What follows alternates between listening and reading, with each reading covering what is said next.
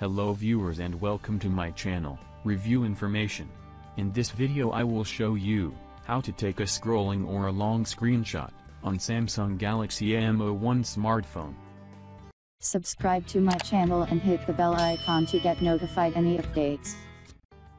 Before taking the scrolling screenshot, you need to enable the screenshot toolbar from settings. Scroll down. And tap on, Advanced Features.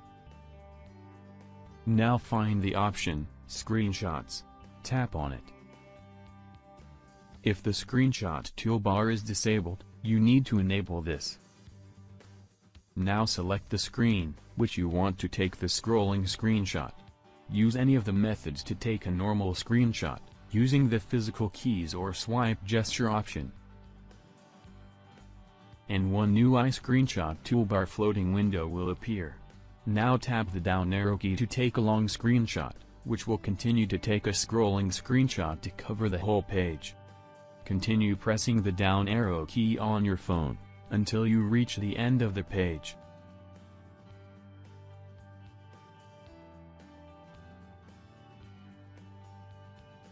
The scrolling screenshot has been taken.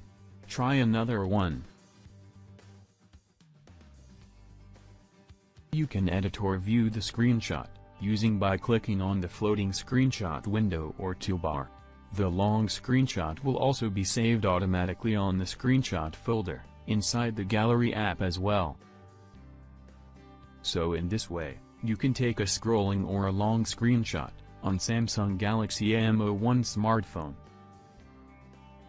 Thank you for watching. Hope you guys enjoyed my video.